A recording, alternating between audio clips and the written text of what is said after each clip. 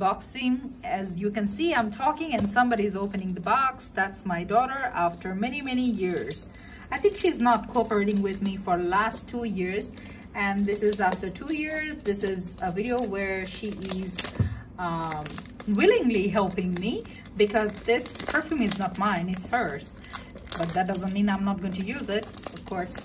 So yeah, as if you have seen already my haul video, I told you this is the first time I'm seeing something from Britney Spears line.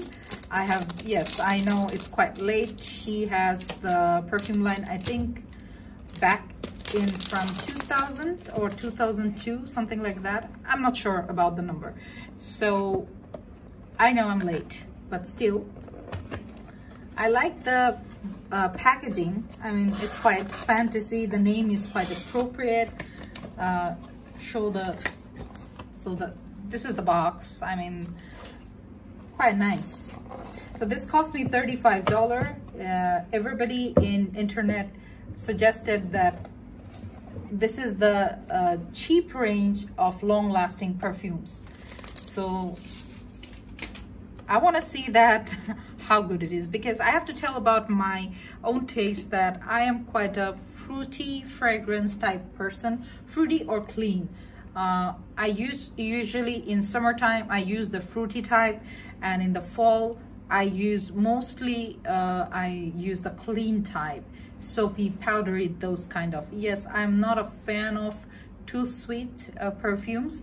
I can't take them. I, I get headache and also too flowery i mean in the flowery type i usually use the gucci or the prada those kind of perfumes.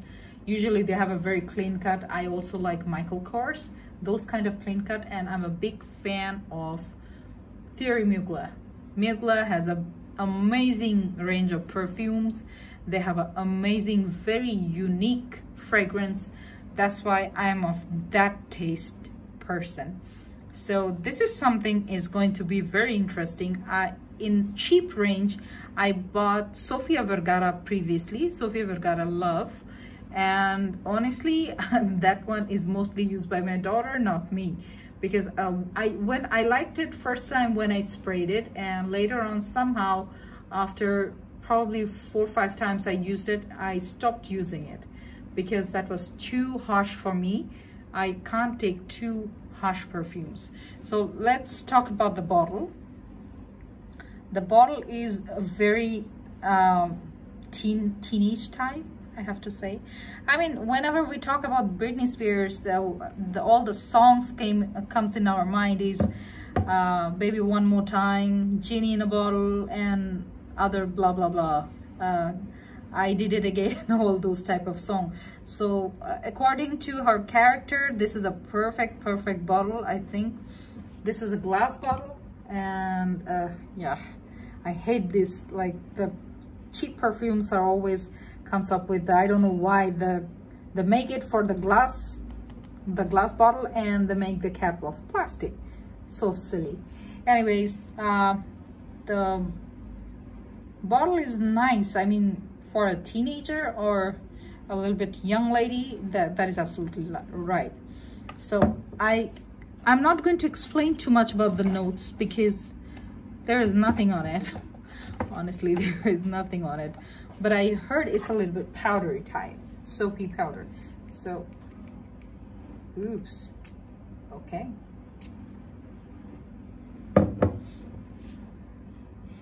Uh is there any black currant?